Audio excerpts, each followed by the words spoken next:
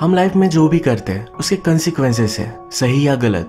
पर फिर भी हमारे पास हक है। हम चूज़ कर सकते हैं कि हमें क्या करना है।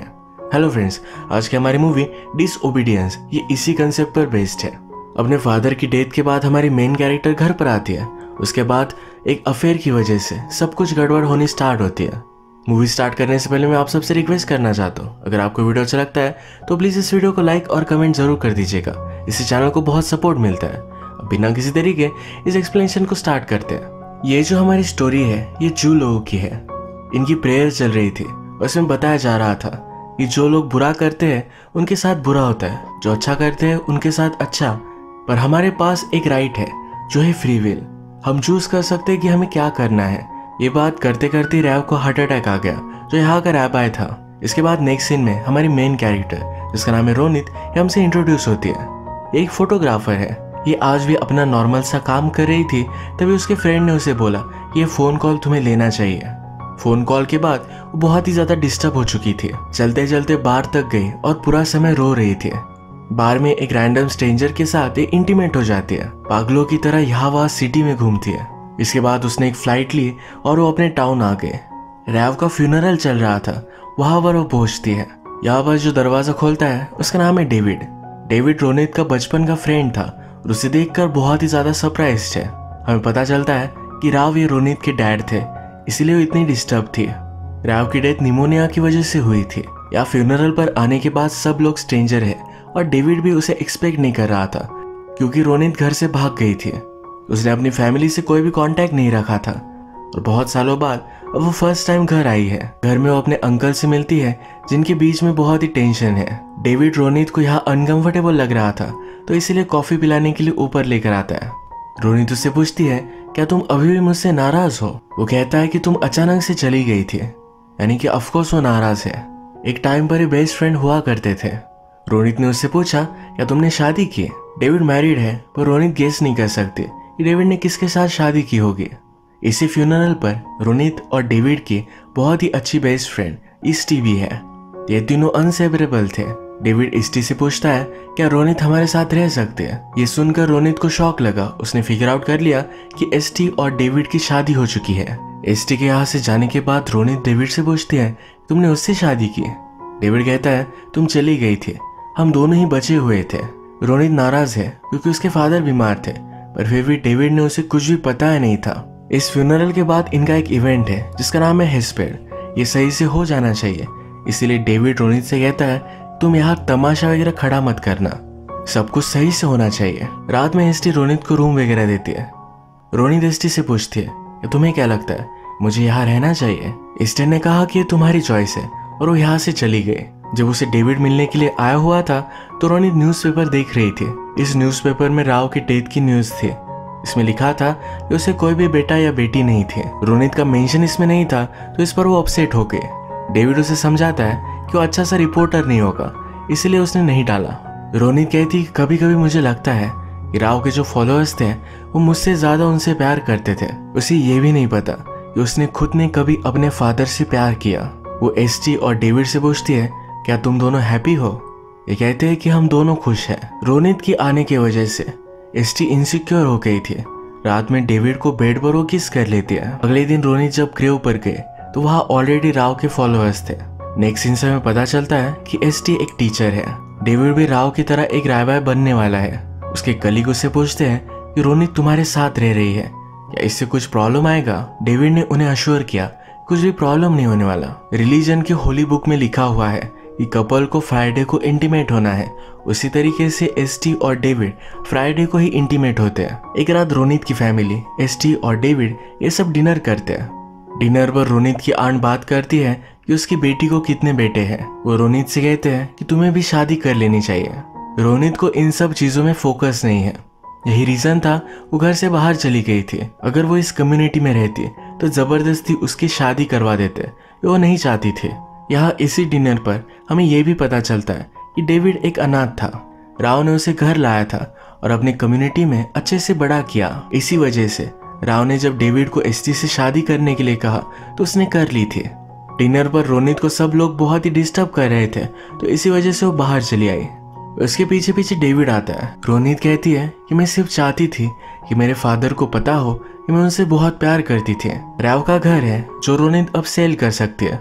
तो इसी के बारे में बात करने के लिए वो अपने अंकल के पास आई उसके अंकल राव की विल उसे दिखाते। इससे रोनित को पता चला कि उसके फादर ने घर उसे नहीं दिया तो कम्युनिटी को दे दिया था। उसके अंकल ने कहा, तुम्हें तुम्हारे फादर के पास होना चाहिए था। रोनित कहती कि, मुझे पता भी नहीं था। अंकल कहते हैं, तुम्हें पता कैसे होता? तुम तो भाग गई थी। तुम्हारे लिए यह सब बहुत ही डिफ़िकल्ट होगा, क्योंकि लास्ट तक तुम्हारे फादर ने तुम्हें माफ़ नहीं किया।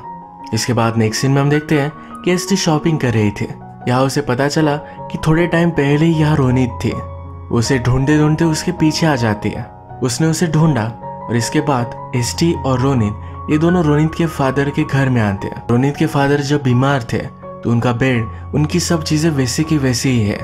ये सब देखकर वो इमोशनल हो गई एस रोनित से पूछती है या तुम्हें ये हाउस चाहिए था? रोनित की फाइनेंशियल सिचुएशन बहुत ही खराब है। कहती है ऑफकोर्स चाहिए था। फाइनेंशियल फ्रीडम किसको नहीं चाहिए होता? इस घर में इन्हें अपने बचपन की यादें आई। राव हमेशा अपने ही रूम में स्टडी करते थे। रोनित के रूम में दोनों खेला करती थे। रोनित ने एसटी से पूछा, क्या तुम्हें लगता है कि मुझे जल्दी घर चले जाना चाहिए? एसटी रोनित के पास आई, उसे गले लगा लिया। कहती है, कभी भी वापस मत जाओ। ये दोनों फिर किस कर लेते हैं और हमें रीजन पता चला है कि एस इतनी अनकंफर्टेबल क्यों थी। रोनित घर छोड़ने के साथ साथ एस को भी छोड़ कर गई थी। रोनित एस को रोकने की कोशिश करती है, पर वो अपने आप पर कंट्रोल नहीं कर पाती एसटी ने कहा, तुम्हारे फादर की न्यूज़ देने के लिए मैंने ही तुम्हें कॉल किया था। इसके बाद ये घर के बाहर आए वॉक ले रहे थे। अपने मैरिज को एक्सप्लेन करने के लिए एसटी कहती है कि राव हमेशा कहा करते थे जल्द से जल्द शादी कर लेनी चाहिए। हमारे पास एक साथी होता है जो हमें सपोर्ट करता है। बुढ़ावे में सहारा देने के लिए बच्चे होते हैं। तुम्हारे जाने के बाद मैं बहुत ही डिस्टर्ब थी। इसी वजह से राव ने मुझे सजेस्ट किया, मुझे डेविड से शादी कर लेनी चाहिए। उसे शादी करना भी इतना बुरा नहीं था। रोनित को इस पर बिलीव नहीं होता। वो कहती है, क्या तुम दोनों फ्राइडे पर इंटीमेट होते हो? एस कहती है कि बुक में तो लिखा है, पर ये मैंडेटरी नहीं है। वो अपनी लाइफ से खुश है। यही लोकल स्कूल में बच्चों को पढ़ाती हो। उसे अच्छा लगता है। रोनित कहती है, सिखा सिखा कर तुम क्या सिखाओगे? हमारे रिलीजन के अकॉर्डिंग उन्हें तो एक लड़की से मैरिज ही करना है। तो इसका पॉइंट क्या है? ऐसे ही बातें करते करते एक प्लेग्राउंड तक आया। इन्हें याद आया। इनकी फ़र्स्ट किस ये इसी पेड़ के नीचे थी। टेनिस कोर्ट के पास आकर किस कर रहे थे। तभी वहाँ की लाइट्स ऑन हो गई। कुछ लोगों ने इन दोनों को देख लिया। किसी को एसटी के बारे में पता ना चले तो इसीलिए वो जल्दी से घर आ गए। इस बात की वजह से वो बहुत ही डिस्टर्ब हो चुकी थी। शावर में जाकर बहुत रोती है। बाहर से डेविड ने सुना, उसे सहारा देने के लिए, उसे गले लगा लेता है। अगले दिन जब एसटी टीच कर रही थी तो उसके प्रिंसिपल ने उसे बुला लिया। एक्चुअल में जिन लोगों ने रोनित और एसटी को एक साथ देखा था, उन्होंने ये बात प्रिंसिपल को कही है। ये सब चीज़ें रिलीजन में फॉरबिडन है तो इन्हें बहुत डांटा जाता है। स्कूल खत्म होने के बाद एसटी जब बाहर आए तो वहाँ रोनित खड़ी थी। एसटी जल्दी से उसे काम जगह पर लेकर जाती है। वो कहती है कि मैं एक रिलीजियस लाइफ जी रही हूँ। तुम्हारे साथ ये सब चीज़ें मैं नहीं कर सकती। रोनित ने कहा कि कहीं और जगह जाकर बात करते हैं। ये दोनों फिर होटल में आए। एक दूसरे के साथ इंटीमेट हो गए। एस रोनित से कहती है कि मैं हमेशा तुम्हारे बारे में सोचा करती थी। तुम कैसी होगी? क्या कर रही होगी? ये वंडर करती थी। रोनित एक थॉट में गुम हो गई थी। स्टीन्यू से पूछा तो कहती है कि मैं याद कर रही थी, जब राव ने हम दोनों को एक साथ देख लिया था। ये बहुत ही बड़ा डिजास्टर था। अब हमें पता चला है यही रीजन था। जल्द से जल्द एस की शादी डेविड से करना चाहता था। वो इन सब के सख्त खिलाफ था। तो इसी वजह से रोनित को घर छोड़ना पड़ा था। एसटी जब घर पर आए तो डेविड उसके साथ इंटीमेट होना चाहता था। इस बात से वो बहुत ही डिस्टर्ब थे। उसने बाथरूम में जाकर उल्टी कर दी। अब उसे पता चला कि वो प्रेग्नेंट है। अगले दिन ब्रेकफास्ट पर एस टी डेविड से कहती है कि मैंने रोनित को किस किया। डेविड उसके पास आया। वो कहता है कि क्या तुम्हें समझ में नहीं आ रहा? रोनित हमेशा यही करती है। क्या उसने तुमसे कहा कि तुम भी उसके साथ न्यूयॉर्क जा सकती हो? हम हमेशा एक दूसरे से ऑनेस्ट रहे हैं। हम खुश हैं। इस तरह से हमारी लाइफ को बर्बाद मत करो। एस टी कहती है, मैंने ही रोनित को बुलाया है। वो वापस आए, यही मैं हमेशा से चाहती थी। मैं जो हूँ, वो हूँ। इसे मैं बदल नहीं सकती। ये सब बात सुनकर डेविड यहाँ से चला गया। रात में रोनित एसटी और डेविड, इनमें बहुत ही वियर सा डिनर होता है। इसमें रोनित कहती है, कल रात की फ़्लाइट से मैं चली जाऊँगी। डेविड का मानना सही हुआ। जब भी चीज़ें हार्ड हो जाती है तो रोनित वहाँ से भाग जाती है। वो एस से पूछता है, कि अब तुम क्या करोगी? एस कहती कि मुझे पता नहीं है। इस बात की वजह से एसटी रोनित पर बहुत ही गुस्सा थे। अगले दिन रोनित जाने के लिए जब एयरपोर्ट पर आई तो उसे डेविड का कॉल आया। वो कहता है कि एसटी गायब हो चुकी है। वो कहीं भी मिल नहीं रही। रोनित को भी एसटी के लिए डर लग रहा था तो इसलिए उसे ढूँढने के लिए वो डेविड के साथ यहाँ वहाँ घूमती है। बहुत टाइम तक ढूँढने के बाद जब ये दोनों घर पर आए तो वहाँ एसटी ऑलरेडी थी। वो अपना माइंड करने के लिए उसने कुछ टाइम ऑफ़ लिया था। डेविड रोनित पर गुस्सा था तो कहता है कि शायद उसने तुम्हें कभी कांटेक्ट ही नहीं किया होता। रोनित कहती है कि मेरे फादर की डेथ हुई थी। क्या तुम मुझे बताने भी नहीं वाले थे? डेविड ने कहा कि मेरे वाइफ को मैं प्रोटेक्ट करने की कोशिश कर रहा था। ये सब बात सुनकर एसटी डेविड से कहती है मुझे मेरा फ्रीडम चाहिए। डेविड उससे सॉरी कहता है और कहती है कि मैं प्रेग्नेंट हूँ। मेरे पास बचपन से कोई भी चॉइस नहीं थी।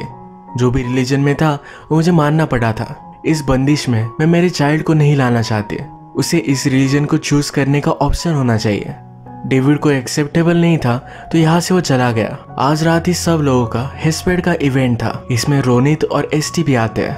इस स्पीच में डेविड कहता है, रोनित के फादर राव की जब डेथ हुई थी तो उनके फाइनल वर्ड्स में वो फ्रीडम के बारे में बात कर रहे थे। उन्होंने कहा था कि हम चूज़ करने के लिए फ्री है।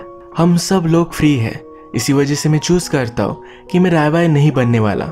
उसने इस ऑनर को ठुकरा दिया। ये जो यहाँ वो बात कर रहा था, इसे उसने एक्सेप्ट कर लिया है। एसटी भी चूज़ कर सकती है। ये जब हो जाने के बाद ये सब बाहर आए तो एसटी ने रोनित को हक किया। रोनित भी ये देख रही थी तो इन्होंने उसे भी इनवाइट कर लिया। ये तीनों एज अ फ्रेंड एक दूसरे को जज ना किए हुए, एक दूसरे को सहारा देते हैं। अगले दिन सुबह रोनित यहाँ से जा रही थी। हम देख सकते हैं कि एसटी और डेविड अलग अलग सो रहे हैं। रोनित कार में बैठ के और एसटी उसके पीछे पीछे भागते हुए आई। एक दूसरे को किस करते हैं? रोनित एसटी से कहती है कि तुम एक बहुत ही अच्छी मदर बनोगी। एसटी ने डिसाइड किया है कि वो रोनित के साथ नहीं आएगी। जैसे कि हमें पता है कि रोनित इतनी डिपेंडेबल नहीं है। एसटी के भी एक लाइफ है। छोटे बच्चों को पढ़ाना, उसकी जॉब उसे अच्छी लगती है। रोनित के लिए अपनी लाइफ इस तरह से छोड़ नहीं सकती वो सिर्फ़ अब अपने होने वाले बेबी को एक चॉइस देना चाहती है। वो नहीं चाहती उसका बेबी किसी भी रिलीजन में कन्फाइंड रहे। इसी तरीके से फ्रीडम के बारे में बताते हुए ये मूवी एंड हो जाती है। अगर आपको वीडियो अच्छा लगा तो प्लीज़ इस वीडियो को लाइक कर दीजिएगा। मैं बहुत सारी मूवीज़ लेकर आता रहता हूँ तो प्लीज़ इस चैनल को सब्सक्राइब कर दीजिए और बेल नोटिफिकेशन आइकन दबाना मत भूलिएगा। हम फिर से मिलेंगे और एक नई मूवी के साथ। तक के लिए थैंक यू और आप अपने आप का ख्याल रखिए।